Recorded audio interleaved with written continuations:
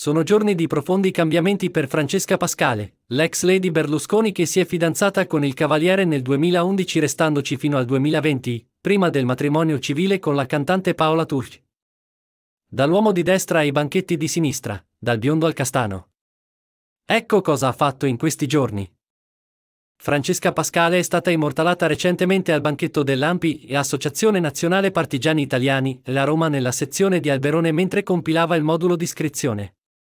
Una posizione che non stupisce ricordando le sue recenti bordate al governo Meloni sui diritti civili e la firma per sostenere il referendum per bloccare l'autonomia.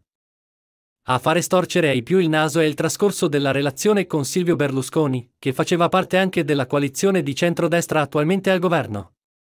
C'è chi la critica, e chi invece ricorda come anche Berlusconi indossò il fazzoletto dell'Ampi il 25 aprile 2009 a Onna, l'Aquila. In quel caso auspicò che la liberazione potesse diventare la festa di tutti. Salutato il biondo, benvenuto il brunette. Un vero e proprio colpo di testa per Francesca Pascale, che si è rivolto al parrucchiere delle dive Roberto Carminati. Lo avete sicuramente visto, ha detto fatto. A lui si rivolgono anche Antonella Clerici, Massimiliano Rosolino e Roberta Capua.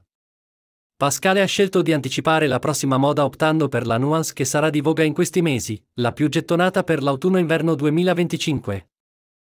Il video finisce qui, ma se sei interessato alle news puoi iscriverti al canale e attivare la campanella per non perderti nuovi video.